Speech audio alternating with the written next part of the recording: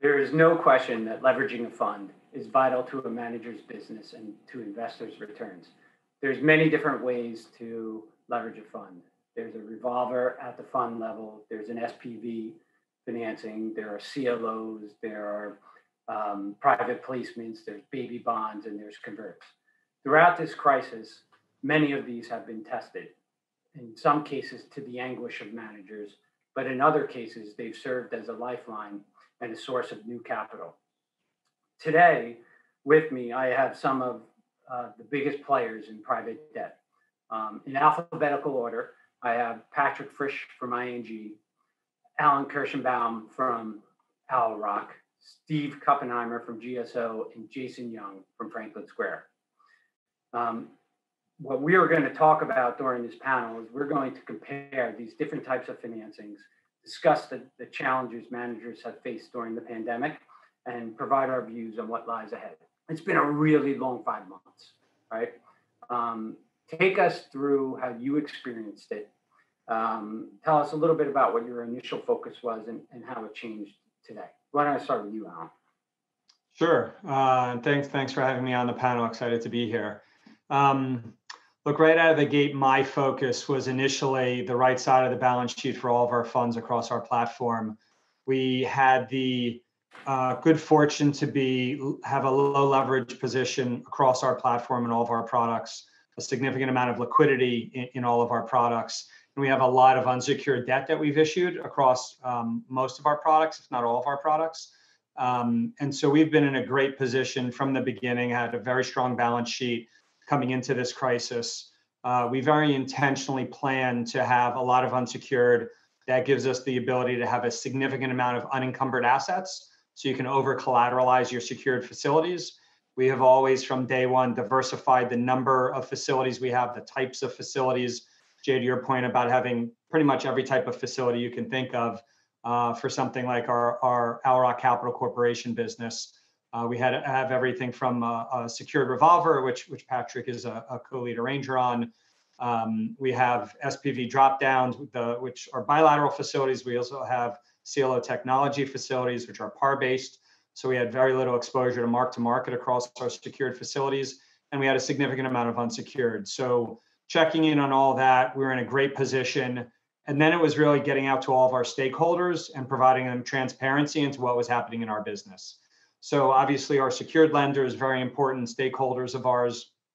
The rating agencies were very, very focused on everything as you could expect coming into this crisis.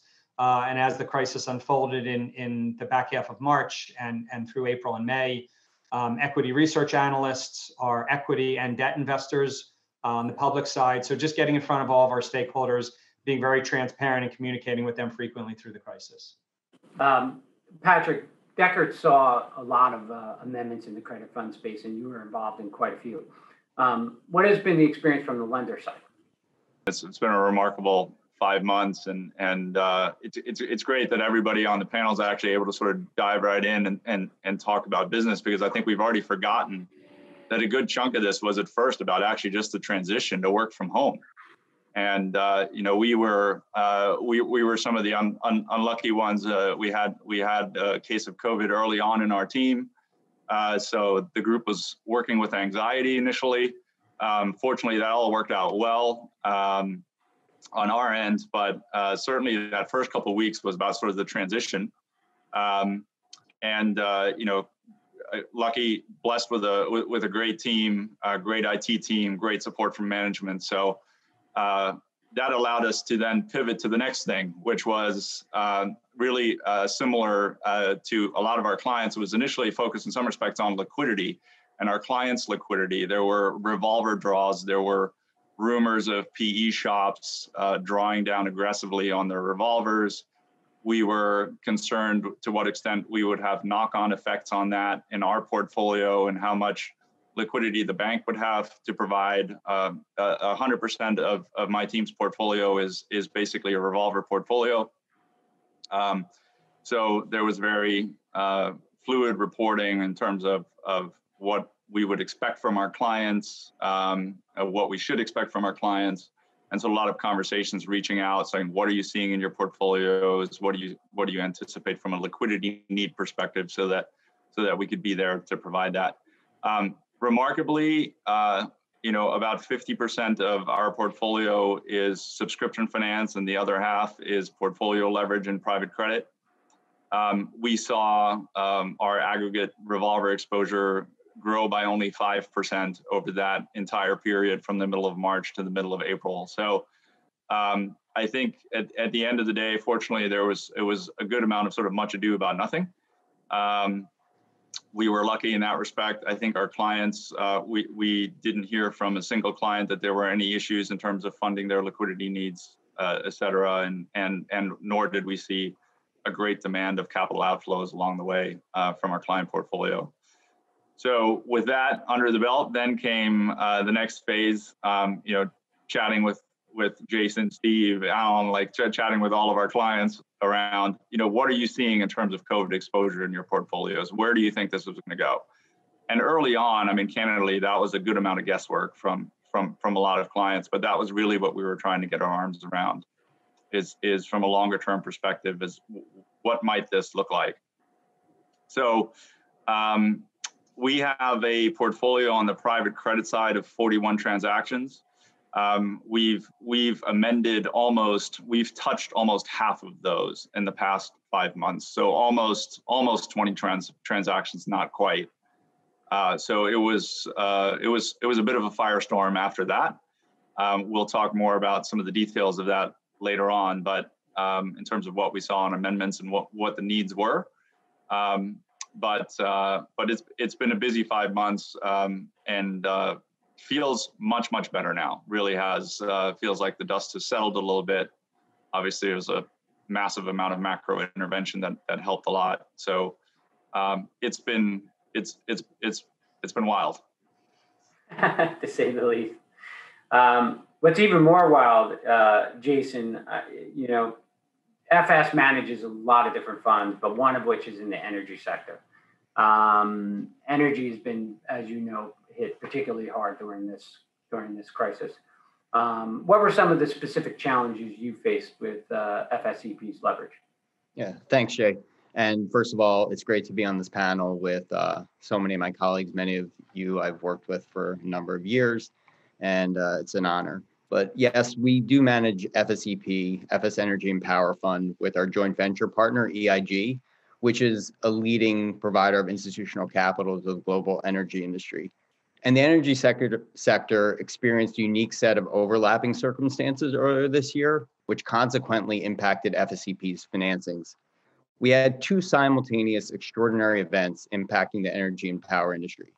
We had the exogenous event in terms of COVID and the and the you know the related global shutdown. That caused an unprecedented drop in the demand for fossil fuels and other sources of energy, not only for running factories and office buildings, uh, but also for all types of transportation, airplane, car, others pretty much stopped all at once. I mean, no one was even driving to get a haircut, which meant seeing some very interesting looks on Zoom calls. And then at the same time, we had sort of an endogenous energy secretary, sector event where the Saudis started a price war to freeze out Russian production. That flooded the market at rock bottom prices at the same time that there was almost zero demand. Not surprisingly, there was a lot of distress in the energy industry, most acutely with exploration and production. For example, US shale drillers, but also throughout industry subsectors. The acute shock has subsided, but it's still a very difficult environment. And any sector specific fund gets stressed when that sector is stressed, although we also can experience outside relative performance during other periods. In any event, diversification, even within the sector, across upstream, midstream, downstream, renewables, and infrastructure assets really can help smooth the impact. That all plays into the leverage facilities for an energy fund, particularly in terms of asset valuations. Obviously, some of the assets need to be restructured, and in the energy industry, you might have more preferred equity and other long term value plays, which don't always neatly fit the asset criteria in structured credit facilities. A lot of this comes down to the importance of having good partners in your lenders if they're underwriting the manager versus specific credits and give us leeway to manage the portfolio to, to deliver long-term value. We were able to work with our lenders to successfully amend FSEP's revolving and term loan credit facility to provide more flexibility alongside the fund's senior secured notes. And that enabled us to consolidate FSEP's leverage at the fund level, where we could manage the portfolio more holistically and efficiently than at SPV subportfolios. Listen, it continues to be a challenging environment, but we were able to structure the leverage alongside the portfolio to put the fund on a steady path forward. New deals absolutely slowed. Agree that things seem to be getting back to normal. Um, but still, in the heart of the crisis, you know, you were able to get some deals done, right? Um, tell us how you were able to do that. Well, it, it really starts with the health of the portfolio. Like, how are you able to go out and, and continue to raise debt in a crisis? It, it really starts with the health of the portfolio, the collateral coverage. Um, the secured lenders have to feel comfortable with that. Um, and so we, we were able to, since the crisis has started, uh, raise over 10 different facilities for well over $2.5 billion in total across our platform. None of that was out of need, which was also very helpful. Um, it's a tough spot to, to need the debt uh, in a time of a crisis. So again, we were very low levered. We, we had a lot of unsecured debt. We were in a very strong position from a balance sheet perspective. And all of it, everything that we've done was opportunistic. We did two unsecured deals. Uh, we increased, materially increased commitments in both of our revolvers, uh, in part thanks to Patrick's support. Uh, we've done five CLOs or CLO type facilities and uh, two sublines. Uh, and that's again for across all, all, all, of our products across our platform. So um, it, it, raising debt is not usually easy to begin with, and raising it in a crisis becomes much more complicated, without a doubt. And um, we're able to go out and raise the debt, um, be able to be more opportunistic in the space uh, on the left side of the balance sheet. Now we we have a significant amount of liquidity to go out and do that. So, so I think it's also a little bit about about what not to do, right, Alan? Because we, you know, the thing that that that we didn't do with with your facility, for example, is we, we didn't push the maturity out. We we went to the syndicate to to make some changes to the facility, but but I think there was a point in time in the market where where early on, you know, there there was a lot of a lot more nervousness than where we are today, and it was really difficult to do certain things. Uh, you know, yeah. one of those things was you do the three-year deal versus the five-year deal. So um, I think hmm. you know working with with good clients and good partners is good to find a middle ground as well in terms of you know amending, you know, figuring out what to what to change and what not to change. We didn't look to raise any debt in March or April. Um, we, we didn't need it. Again, everything we've done is opportunistic. The only change we needed to make was for ORCC. For our revolver, we we went and changed our asset coverage ratio to 150 percent we were really one of the last folks to do that. Uh, that was purely opportunistic. That was not out of need as well. And so that was the one amendment we made. And in the crisis and changing our asset coverage ratio, none of the agencies changed their rating for uh, ORCC or for any of our products, frankly. Uh, so that was a really nice boost of confidence uh, from the rating agencies where they were you know, looking to uh, and did change a lot of the outlooks and ratings across the whole space uh, none of our ratings were changed through the crisis to date. So that's actually a, a good segue to the next question, uh, Patrick. Um, there were a lot of amendments to revolvers, right? Um, and I think you, I think you were you, you subtly just said, and you took a good lender's perspective in saying, you know, be careful what you ask for. So tell us a little bit about um, what you saw, um, but more importantly, what what's really driving some of the requests that you saw. Was it was it people being piggish, or were there real issues? Um, no, I think that I think there were some real issues. So um, we, we we pulled a little bit of data together. So I'm gonna I'm gonna switch now to a presentation, um, which which which will uh, hopefully maybe take my COVID hairdo off the screen. We'll see. I don't know. Um, but by the way, I, thanks you, uh, you you all broke the pact of of delivering your COVID hairdo for for this presentation. Um, I'm flying solo on this one.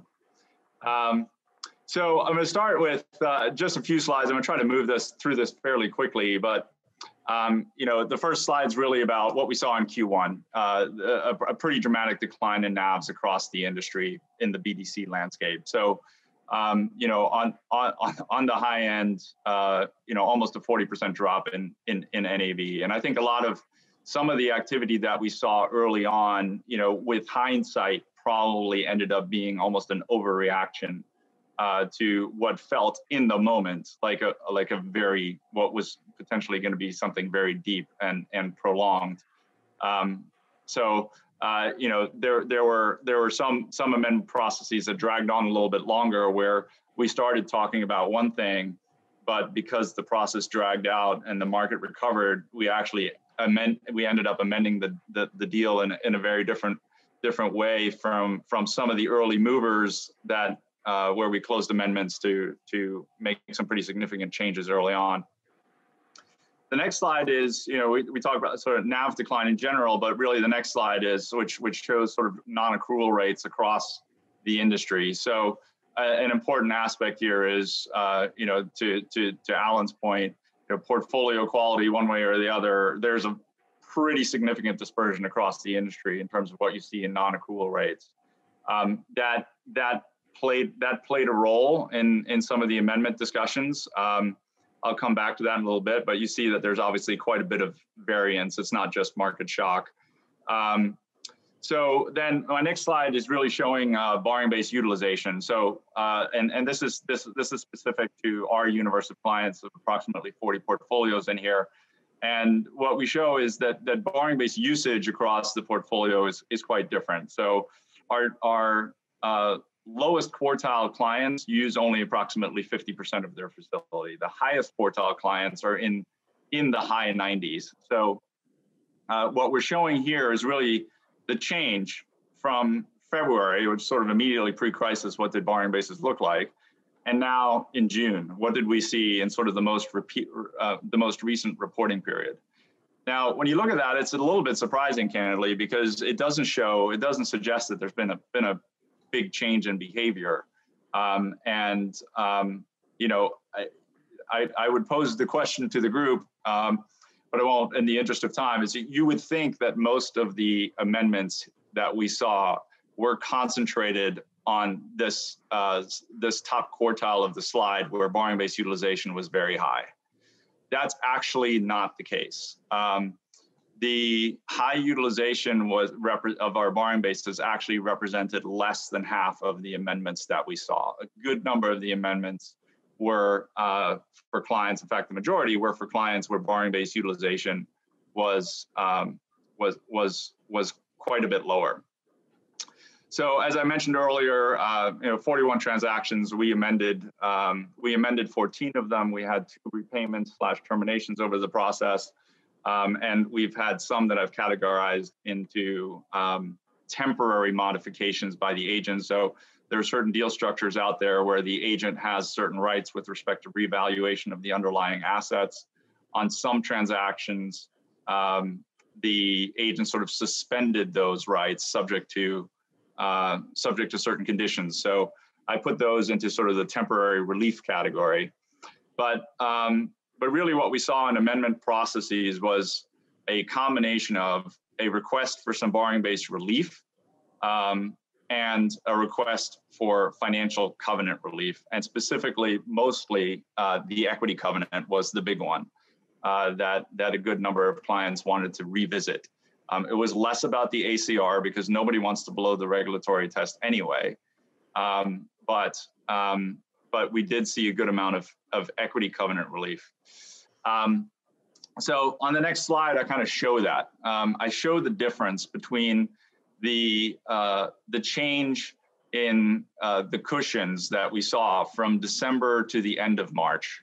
Um, and what you see really is that for the amended deals, uh, that that um, asset coverage cushion, but more importantly, the equity covenant cushion, eroded from a neighborhood of a 30% buffer down to about a 15% buffer. Now, that doesn't sound horrible, but when you're sitting there at the end of March and you don't know where it's going to go next, um, um, or I should say, you know, sort of actually into April when some of these numbers started to come out, um, then you you probably were going to say, okay, I, I, should look for some protection. Um, what you note is the non-amended portion of the slide is that could the erosion of that cushion was meaningfully less. The starting point was actually not that different.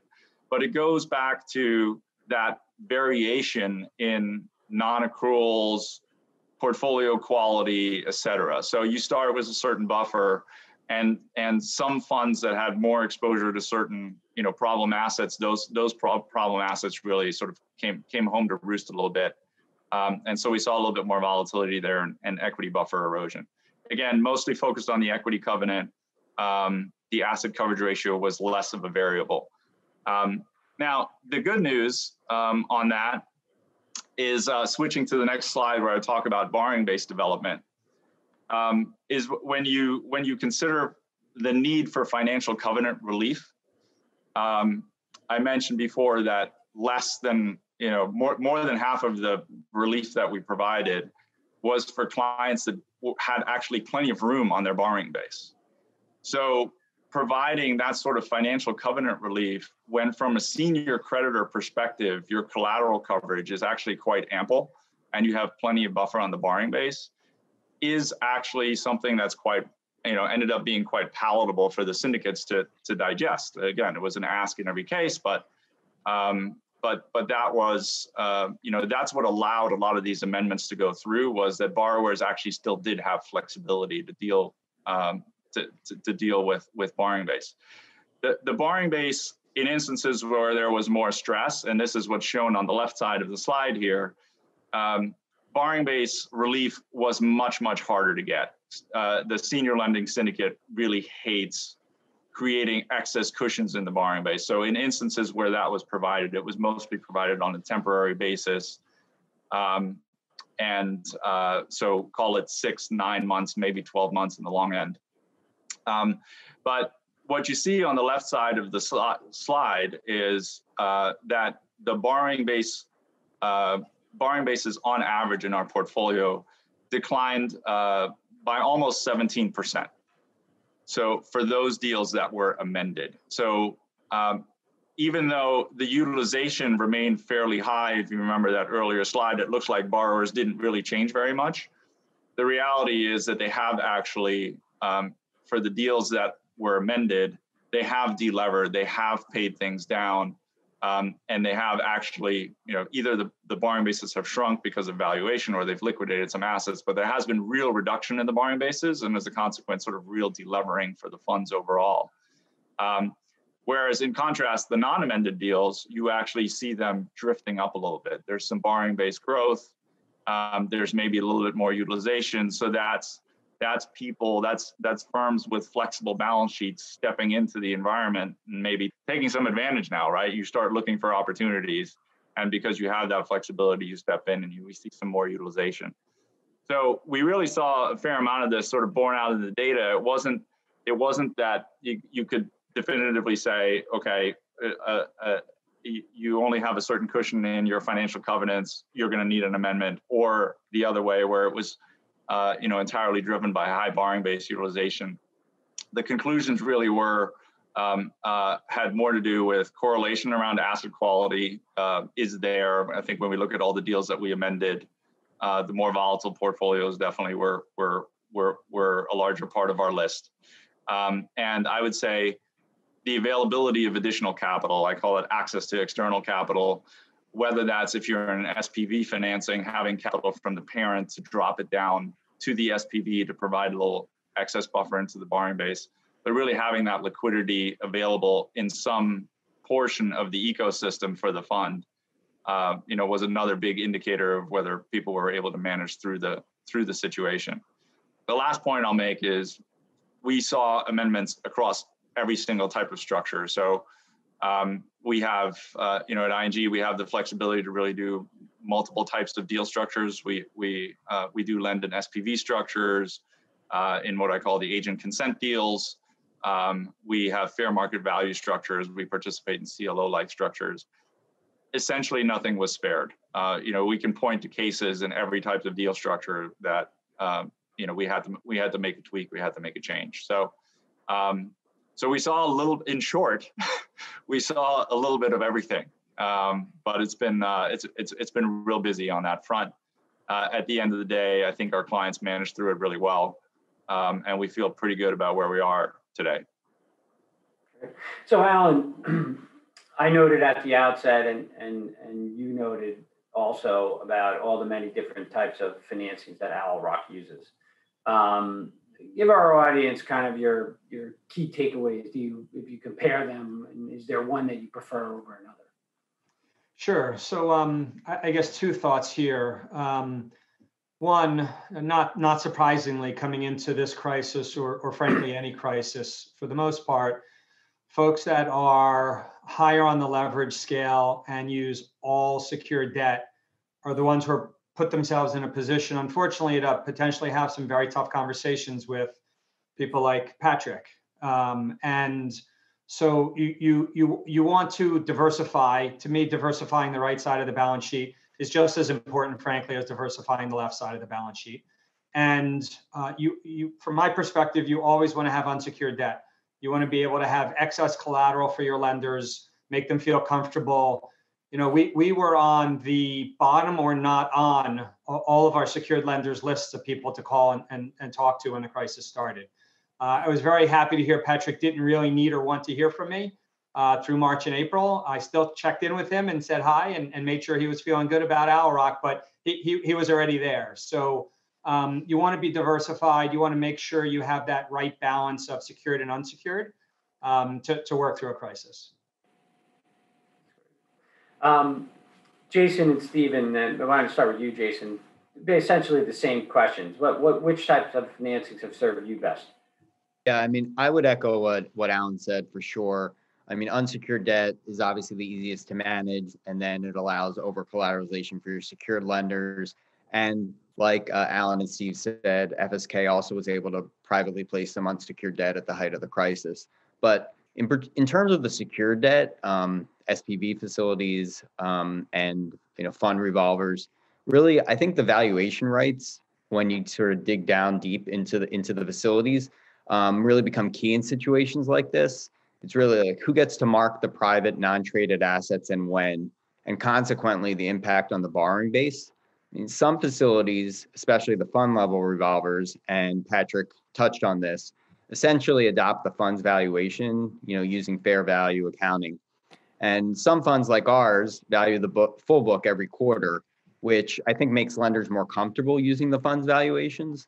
Although the lenders also conduct independent valuations of a portion of the portfolio each quarter, um, which Patrick and UJ will tell will tell everyone that that's very important uh, structurally and as a regulatory check for the lenders. On the other end of the spectrum, you have drop-down SPV facilities with curated sub-portfolios where the lender marks assets independently and sometimes in its own discretion without any true external checks or challenge rights for the funds. And you know, in those situations, you may be able to manage those facilities to a point with over collateralization, but under severe stress, you may be dealing with daily margin calls, which is really not a good match for illiquid long-term investments. In the middle, there's other SPV facilities that fix a mark and advance rate upon acquisition of an asset and then trigger revaluation rights only upon valuation adjustment events or what people term as VAEs at the underlying credit. There are various combinations of these terms and more detailed nuances, but all of it boils down to the fact that the fewer instances of revaluation and having external checks on valuations makes it much easier to manage these leverage facilities through periods of economic distress. Steve? So I think uh, Alan and Jason covered the lion's share of it, but I will, so I'll just kind of highlight maybe one aspect of it. If you look at the different financing products that we've discussed today, of you know, revolver, CLO, drop down SPV, unsecured debt. You know, by far and away, I think the product that's the most chased, the one that managers most want to get in place is the revolver. And it, it's because it's generally cheaper and it's got a lot more flexibility.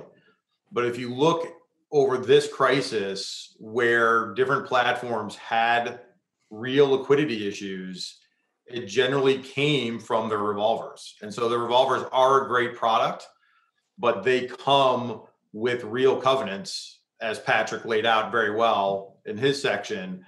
And that minimum equity requirement, when you have this kind of shock to asset values, uh, that minimum equity covenant can really come into play on the revolvers and you know forced some you know capital markets activity in the sector that was, you know, somewhat dilutive. And and so it was, ju- you know, you asked what we learned, you know, through this about different products. It was interesting to me that, you know, the product that's seen as is maybe the most highly sought after, you know, actually led to, you know, some of the real events that we saw in the quarter. Um, and so, you know, and it, and you know, if you look at the the loan to SPVs, those are often bilateral. Uh, to Jason's point, and they have valuation adjustment events, but because they're bilateral, you know, you can really have a kind of one-on-one negotiation with a given bank and have a, a very good relationship discussion. The the revolvers tend to be syndicated, um, and so there's not really kind of one discussion you're going to have, and they're gonna they're operating you know kind of more in the screws. So it's just interesting to see kind of you know where the pressure came from this quarter. I guess I'd say. Yeah. So Patrick, I- and I asked you to keep it brief because I do want to ask you a question, uh, a follow-up question relating to valuations. But but since you're the only lender in the panel, I'm going to give you the the last licks here. Um, so you just heard everyone talk. Um, Yeah. Give give us your reaction. Yeah, I think, um, look, and I mentioned earlier that, that, that uh, we participate and we play in sort of all of these uh, different structures. Um, look, I think at the end of the day, we're, we're, what, what senior lenders are looking for, and we're going to get there one way or another, is really to identify underperforming assets and eliminate those from the borrowing base over time, one form or another, right? We're trying to filter out the crap and get it out of the borrowing base. Now we can get at that with fair market value marks through uh, through an FMV process. We can get at that with agent consent rights, where the agent does the valuation, or we can get at it structurally by having leverage thresholds and and and different parameters that sort of monitor the underlying performance of the underlying assets. Um, I think what was surprising in in this in in this event, we we always you know within ING we've always thought that the senior revolver um, is going to be the most responsive in any sort of shock event from in terms of needing an amendment, needing some sort of modification because of that fair valuation component. And that fair value mark happens immediately. On some of the drop downs, um, the SPV financings that, that Steve mentioned or that, that Jason mentioned in terms of sort of having the agent valuation procedures, those are supposed to be generally subject to certain trigger events, right? So you don't actually value them by tracking the market. The agent really can't revalue those until the VAE that Jason mentioned happens. Um, what was surprising in this instance is that because of the specific environment that we were in, those things sort of collided. Um, and we saw VAEs much, much sooner. We saw material modifications that you know are parts of those transactions on the underlying uh, portfolio companies that that caused um, those transactions to be allowed to be amended much much sooner or much more rapidly right the, the premise around some of those transactions is that you're going to assess underperforming portfolio company performance over time and so that there would be a lag in some sort of economic recessionary environment on the VAEs here we had underlying portfolio companies go immediately to some sort of payment default or some sort of payment issue because they weren't going to pay interest in, in, in the March quarter or in the June quarter, which then triggered VAEs. So, um, you know, I think my, my overarching philosophy on all these is there's a right the, there's a right place in the capital stack for all of these for all of these different vehicles. Part of the reason um, that the, the corporate revolver structure is desired because of that flexibility that's there but it looks at the entire ecosystem. So it has certain financial covenants that look at the big picture, right? You don't need to do that in an SPV. You just look at your specific portfolio that you're financing. Um, at the corporate revolver level, we need to worry about whether there's going to be capital injected into that SPV because the SPV lender is causing a fuss through VAEs, whatever the case may be. So I think a well-structured, the bigger the fund, a well-structured fund will avail itself of the majority of these instruments. Um, unsecured drop downs and the corporate revolvers, they all have a role to play. Um, and um, and so I, I I don't think it's a it's it's a one size fits all kind of scenario. Do we think that was a good defense of the Was revolver? that short enough? No, that wasn't short at all, actually. Was that a good defense of the revolver, guys? Do we think so? Revolver's a great instrument, no doubt. Especially when Um, Patrick's in the syndicate. or you the- know, we're we're we touched a, a little bit upon this a couple of times. Um, you know, one of the one of the most important things, one of the things that are negotiated the mon- most, one of the things that managers spend the most time with is valuations of the underlying assets. Um, if you could try to be brief this time, um, I'm teasing. Um, I'd like to get your view, your your your thoughts on how important valuations are to you, and and how do you account for it? Because I'm sure this happens regularly when you have two managers in the same asset, um, and they're valuing that same asset differently. Yeah. Um, so uh, maybe I'll speak to that. We we we tend not to be look. Uh, valuation is an imperfect science, um, and these are private assets. And um, to say that this is the number with respect to any particular uh, the value of any particular private asset is just no, nobody's got it exactly right. Um, we know that when we underwrite these deals and when we go into these, what we're looking for on valuations generally is is a directional sense, right? Um, and really, we're not relying so much on valuation for the crisis scenario. We know the book is going to be on the whole marked down in the crisis, right? We expect that. What, what we're really looking for valuation to do is identify those assets over time as we work with managers over years and years. We say, hey, you know, what's going on with this one? Right? And should that still be part of the borrowing base? And and you know, it's it's it's marked at 80 when the rest of when the rest of the market is marked at 100. Um, so I would say that's probably a, an important part of the valuation procedure. We don't just look at the values, by the way. We do get the valuation reports, um, and we we we look at underlying metrics on portfolio companies when we start to see that we want to ask questions like that. Um, we have plenty of other metrics generally and other mechanisms in our structures to to filter out underperforming assets. So the valuation isn't the only, you know, the be all end all of of of the uh, of the deal. What I will say in a in a in a market shock scenario that we had is, you know, we we didn't we didn't um, really think that the liquid market was necessarily the best indicator of where the private assets and what the quality was of the private assets over time. So we did have a good amount of conversations around, well, liquid market is, you know, is is is is down at 80 and why are we marking these portfolios at, you know, 90, 95, whatever the case may be. So again, the there's there's a disassociation that happens when you go through times of crisis like this where the liquid market was oversold. People were pulling their mark money out of mutual funds. There was a lot of selling going on in that market. Um, and so we don't necessarily expect, uh, because we don't expect to liquidate our clients' portfolios immediately in a crisis. um, we're not looking we're not looking to the LCDX to be an indicator of what we might be able to get for those assets. So this is all about patience, and and what we were much more focused on was really uh, that part that Steve mentioned earlier, which is which of our, which of our portfolio companies are going to be long-term COVID affected here? Like which ones aren't going to survive? Is that 10% of the portfolio? Is it 20% of the portfolio?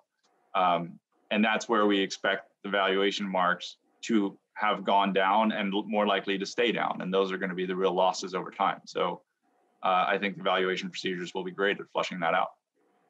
Great.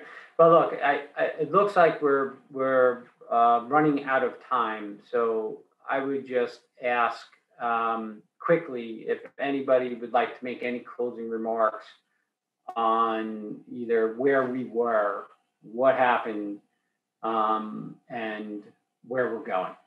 Jason, why don't I start with you? Sure. I just, you know, a quick uh, remark and reaction.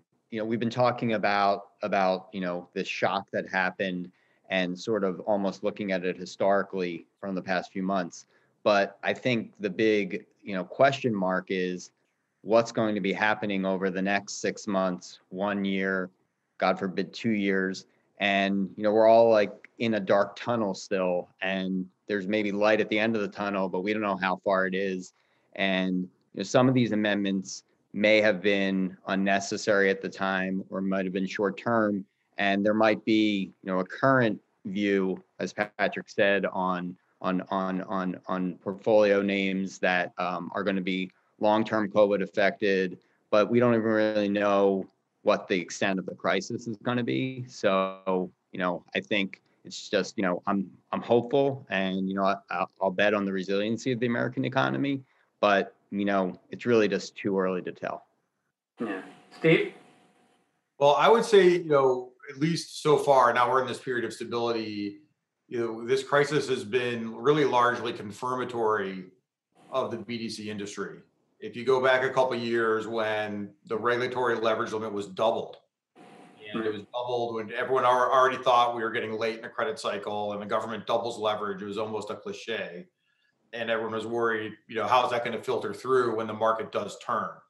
And so now, you know, that you had a, a very severe, very fast shock to asset values within BDCs in a in a post leverage increased world. And there's been some stress, but also the industry's really kind of come through it, right? You've had some amendments, you've had some adjustments, you've had some, you know, different capital markets transactions, but really, you know, by and large, industries come through and gotten to the stable ground. And it's a, you know, if you look over the last 10 years for the industry, it's a statement to how institutionalized it's become. There's a, there's a lot of best practices now. You have, you know, the, the space is defined by very large platforms that are very well capitalized and have a lot of access to liquidity versus 10 years ago when it was defined by, you know, really kind of smaller, almost unique platforms um, that were much more at the mercy of the markets. And so I think for, for me, that's the main takeaway from 10,000 feet is in an increased leverage environment, massive shock, you know, the industry, you know, you, you've seen it flex and then get through it. And that, to me, that's exciting for the, for the BDC industry. Yeah, agree. How about you, Alan? I'll give you the last word. Sure, those are good thoughts. I guess just from a looking forward perspective, still a lot of uncertainty out there. So we, we continue to remain defensively postured. Um, we continue to hold a significant amount of liquidity. We continue to opportunistically raise uh, more debt. Um, and um, we'll, we'll see when we all get through this, but there's still still a bit of uncertainty out there. So Agreed. uh, still a very cautionary tone. Agreed. Well, let me tell you, th- this was uh, an incredible discussion. I'll tell you personally, I learned a lot. I wish we had, uh, I wish we had more time to talk more. But uh, I want to thank you all. Um, This was great. Stay safe. Thank you. Thank Thanks, you. everybody. Good to see you.